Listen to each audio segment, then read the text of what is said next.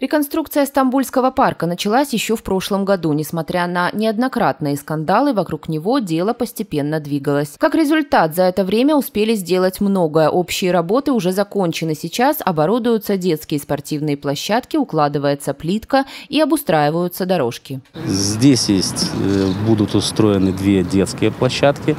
Одна спортплощадка и одна площадка для занятия фитнесом. Собственно, что касается таких вот вещей, все. Э, здесь на нижней террасе организована кольцевая беговая дорожка, она будет гариевой.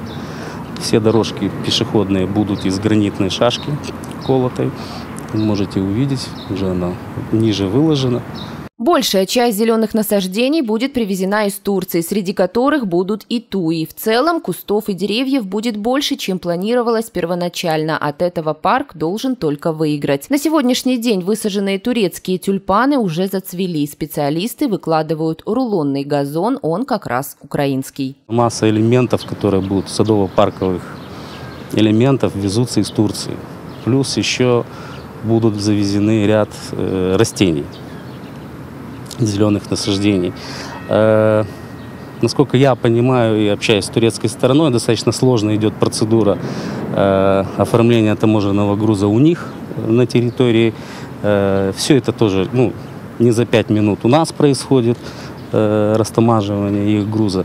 На реконструкцию из городского бюджета не выделено ни копейки. Все работы проводятся за счет города-побратима Одессы – Стамбула. Управление дорожного хозяйства только помогает координировать действия турецкой компании с коммунальными службами. Так, по совету одесских специалистов отказались от площадки для фестивалей и обустройства кафе. Сейчас осталось уложить гранитную плитку на верхнюю террасу. Пешеходные дорожки по нижним террасам практически готовы.